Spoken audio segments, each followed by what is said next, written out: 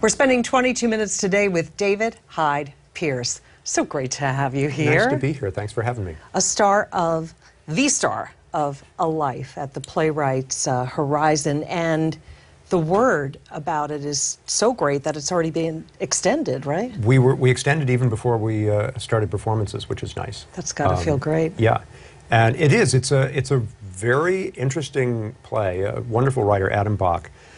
It's a funny play. It's a kind of deep play, although you kind of don't realize it as you're watching it. It gets under your skin. And audiences, we've had we had very mixed audiences. Some very young people, some older people, and everybody seems to be kind of caught by it and really um, loving it.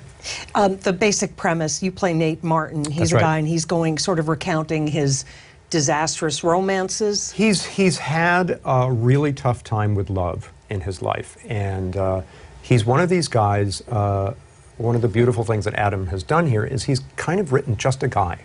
It's not in a way someone special. It's just a guy, and you get a glimpse of his life. And he's had a hard time, and he spends a lot of his life trying to figure the world out because he feels like everybody else seems to kind of know what the world is like, what it means, and how they're supposed to behave. And he just always seems to be missing the boat. And he's had a lot of failed romances. And uh, um, early in, when he was in his 30s, uh, he had a run in with someone, he was having a tough time, running with someone who believed very deeply in astrology. And he connected with her, and it opened up this whole world to him for better and for worse. Mm-hmm. And that's a big part of sort of where we find him as the as the play starts. Now tell me if this is right. I read there were like 16 pages of script, like a half hour of you talking. The, the, That's a lot. The very beginning of the play is a half hour of me talking. So if you're smart, you will not show up till a half hour in. but unfortunately, they don't let in latecomers, so you have to sit there and listen to me in order to get the rest of the play and the rest of the cast who are really good. I heard that's the best part, though, because I, I heard that the audience sometimes, is it true that they, they, they talk back to you? Oh, yes. Yes, it's great. Well, it really is. I mean, it's a very small theater, first of all. It's like 128 seats uh, at Playwrights Horizons. Um, which is, by the way, when I first came to New York in the 80s, uh, my first gigs were at Playwrights Horizons in its oh, wow. original form, which was a much smaller space, I, working on new plays by Chris Durang and Richard Greenberg and Mark O'Donnell. So there's a lot of meaning in this for me to be back on 42nd Street, a very different 42nd Street than when I moved here, because you had to sort of push the hookers and drug addicts aside to get into the theater, and now they're all in the seats watching. So that's great.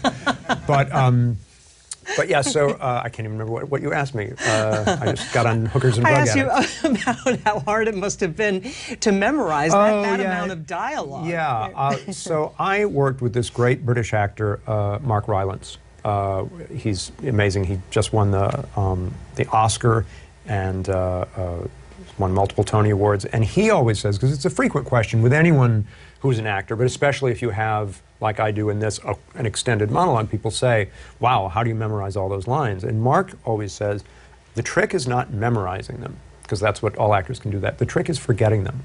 The trick is making it seem like they're occurring to you for the first time every night, which I think is really true. And, uh, and it's the fun and also the, it, in a weird way, speaking directly to the audience makes that easier mm-hmm. because it's different people every night and you never know how people are going to react. And for example, I said, you know, there's a theme of astrology mm-hmm. in the show. Well, people have very different feelings about astrology, and some people are really into it, and you'll mention a planet, and they'll go, uh oh, and uh, or you know, you can see people are just like, oh, whatever, and uh, and everything in between, and um, and then what's great too is older audiences tend to say things that you might not necessarily uh, say out loud mm. in general, but they kind of gave up on their filters years ago because they've lived long enough and they.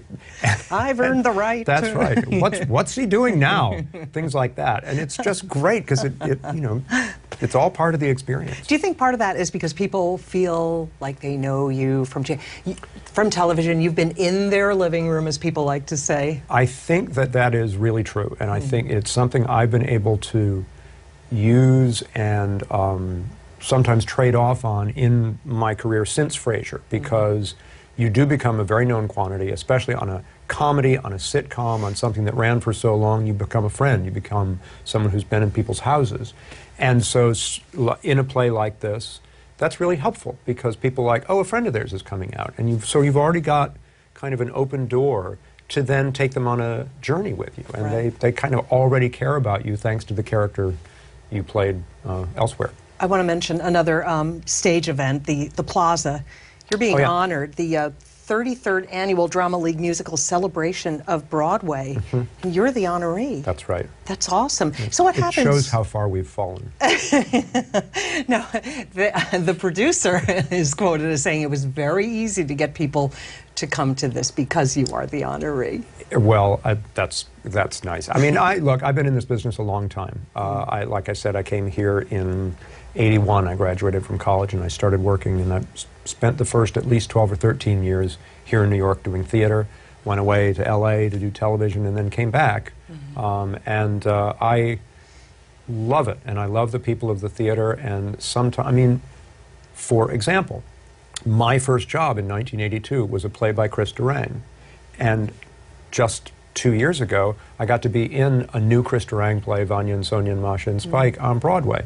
Um, that's a long span to be working with the same people and to be reacquainted. So it's, a, it's not just that it's me uh, being honored, it's that this is such a close knit community that we all um, respect and like and owe each other so much that I think whenever one of us gets this opportunity, um, we all show up. Now, how does it work? Do you sit back like the folks at the Kennedy Center and just listen to the, the accolades pour in, or do you have to give a speech? It's not, it's not like they roast you or anything. I don't know. you don't know. I have no idea. Surprise. I'm going to find out when I get there. Um, and uh, but I'm, I, but it raises money for a good cause. It actually raises money for the Drama League's program for training directors. Mm-hmm. Um, and I started directing recently. I've been directing the last few years, and many people have said to me that it really would have helped to have some training. So I'm glad to support this program that trains young directors. Speaking of good causes, Mm-hmm. you've been uh, one of the more eloquent voices in the fight against Alzheimer's. Mm-hmm. That work continues. It's personal for you, right? Yeah, so I uh, started many years ago uh, when I was in LA,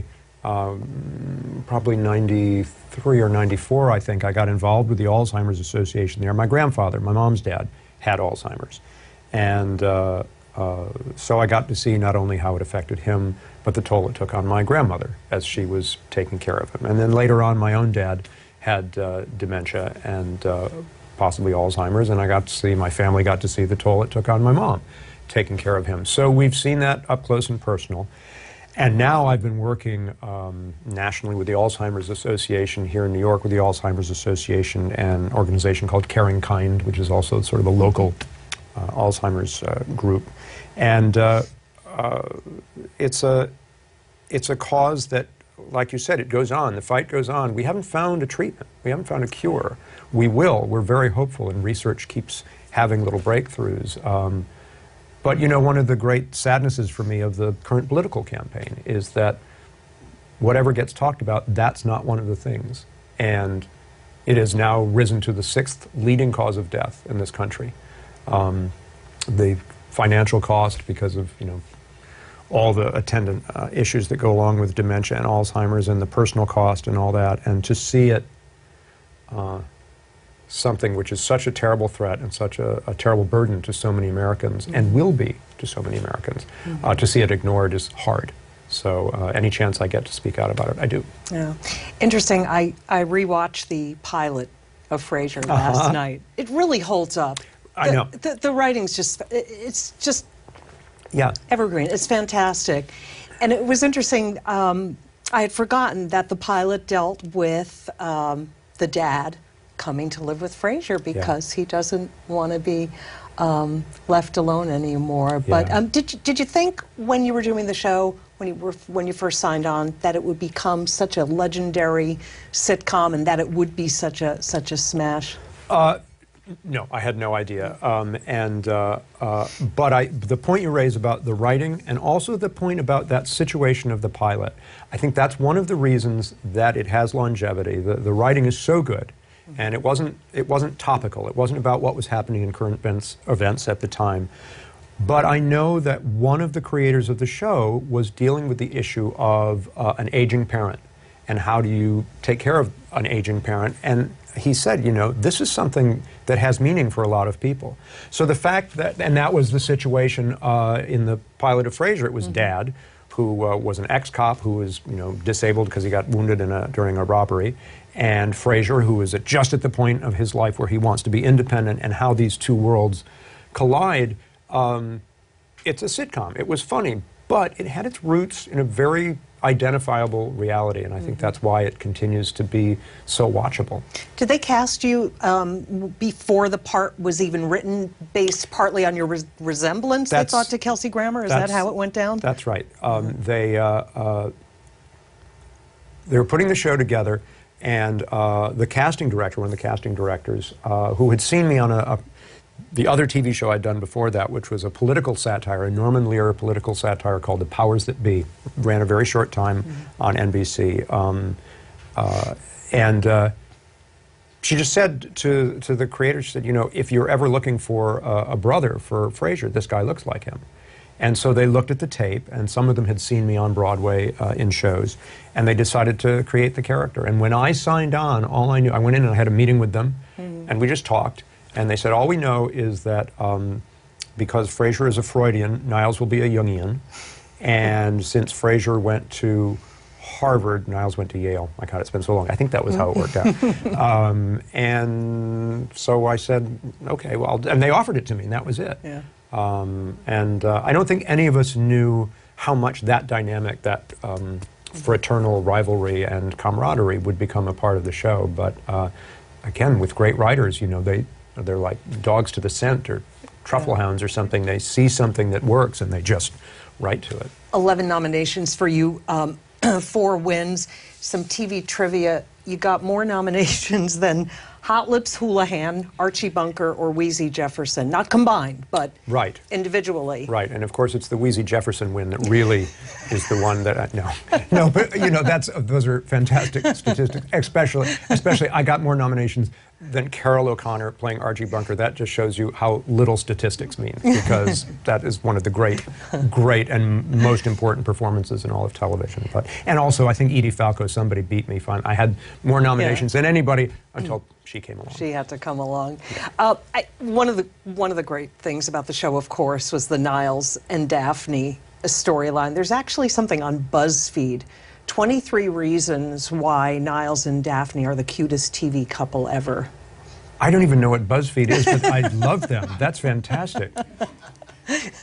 I hope looks, The kids is, read it. looks is number one, right? Yeah. Uh, well, that's great. That's How, great. how, how did that work? Uh, when you first started working with Jane Leeves, what, was it instant instant chemistry? And, and you, you dragged out that sexual tension over how many seasons? Seven, seven seasons? seasons. Wow. Seven seasons. I was so sore. Um, it was. Uh, um, I'll tell you exactly. First of all, in terms of the chemistry with Jane, there was chemistry in, th- in that whole cast, and it was like a laboratory. There was so much chemistry. We just loved each other, which is good casting, by the way. Uh, Jeff Greenberg, the casting director, um, you know, and and the creators of the show, just having an instinct for talent, but also how people fit together. And Jane is really the one.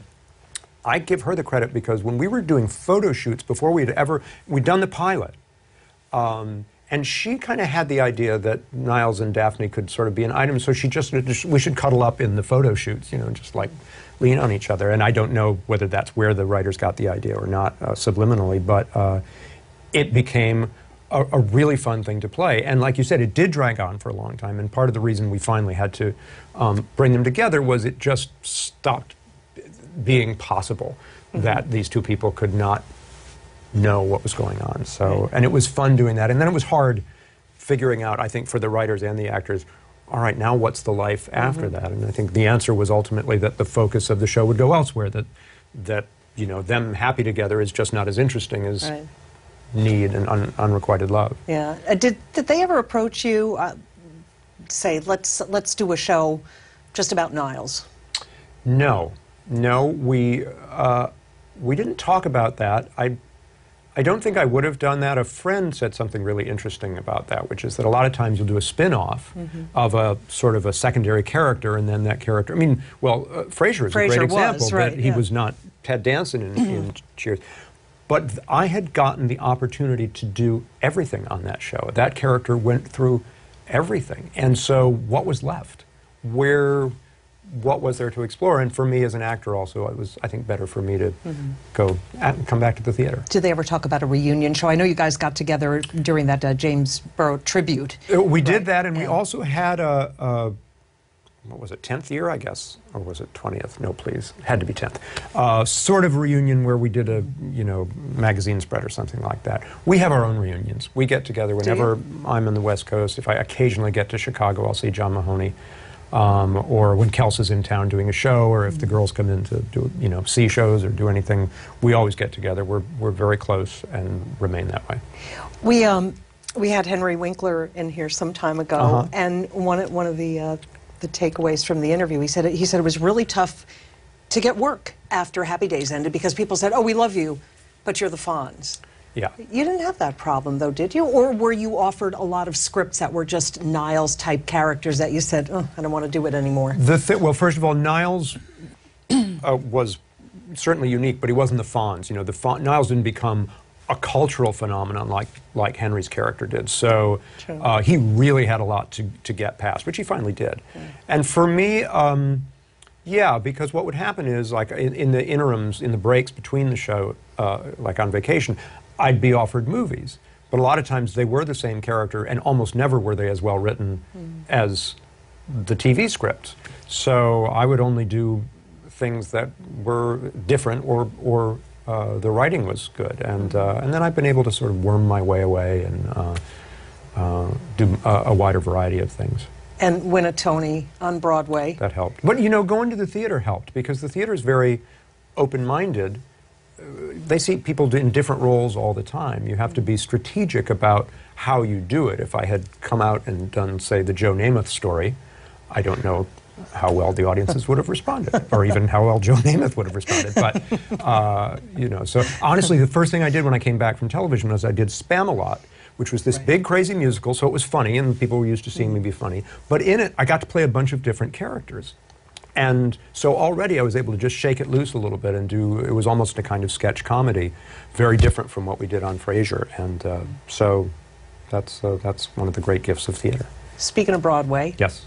Hello Dolly. Hello. Coming Oh. up in, in, in April. Yeah. You've worked with Bette Midler before, right? I did, she and I did a movie called Isn't She Great? Um, four, 400 years ago. uh, and we spent a lot of time up in Montreal together. It was m- me and her and Nathan Lane, and John Cleese, uh, Amanda Peet. Was, we had such a great time. And, the uh, Jacqueline Susann Yes, she played it? Jackie Yeah. Susanna wrote Valley of the Dolls. Nathan was her husband manager, and I was her editor on Valley of the Dolls. And uh, um, it was a, it was a very different relationship than the relationship of the character Horace and Dolly in uh, in Dolly. But uh, I really love her, and I so uh, admire her. And uh, we've had a few little rehearsals, sort of workshop rehearsals already, and uh, she's uh, she's incredible. I was going to ask you about that. So, uh, when do you get into the, you know, really the, the, the throes of, of rehearsing for? Mid January is going to be the actual, you know, legit start of full on rehearsals. But we're doing, uh, the producer very generously has allowed us to do um, uh, sort of a lab over the course of a few months now. So they're working on some choreography, and uh, Bette and I got together with Jerry Zaks, the director, and uh, did some scene work and sang through some stuff. I got to work on some scenes with Warren Carlyle, the choreographer, and Andy Einhorn, the music director. It's uh, it's an amazing group of people, and uh, um, I'm just, you know, I, everyone's excited. Everyone's excited about the show. They're excited about Bette. They're excited that, oh my God, this thing is going to be so much fun. We know what it is. We haven't seen it in a long time. It's iconic. Maybe there'll be something, a new spin, but not really. It's just a great show, mm-hmm. hopefully done the right way. Ticket sales have been unbelievable. The first day of, of ticket sales, we broke it. Well, you know those Frasier fans. That's what's bringing them in. That's Yeah. what's filling the seats. Yeah. Absolutely. We're running a four second ad for the show. It's like, hello, Dolly, Bette Midler. I know. Yes. what more do you need to know? Yes. No, it's great. And David It's Pierce. Yes. Well, it doesn't say that, but that's okay. It's, it's um, implied. Some projects that I was surprised that you did Mm-hmm. Wet Hot American Summer.